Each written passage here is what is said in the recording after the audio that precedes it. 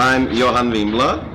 I'm from um, Stockholm, Sweden, and lived in Slovakia now for since 2002 actually.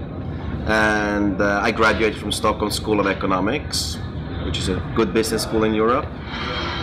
And um teaching is uh, what I'm doing for a living now, and that's probably the best job I ever had. I really enjoy my job. And here at City University, I'm teaching various subjects finance, strategy, and a few more occasionally. Slovakia is a good place to live. It's a beautiful country. Bratislava is developing every year, and um, I never regret moving here in 2002. Uh, what brought me here was personal reason, my wife basically, but uh, that's not what kept us here. We could have moved somewhere else, but it's a very good place to live.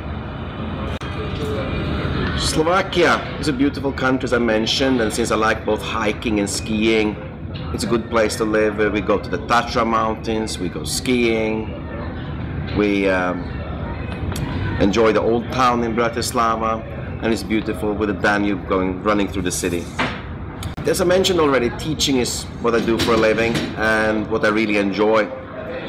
Slovak students here at City University, I think they're very uh, motivated, hardworking. Uh, I'm very proud of the results we are creating here at City University Bratislava. Students, they learn a lot. They learn to write papers, do research, work individually as well as working in group. Uh, and I had the opportunity to uh, teach at different schools, doing guest lecturing and so on. And uh, I clearly must say our students are very competitive in also in an international comparison. And I'm proud of them and I'm proud of the school.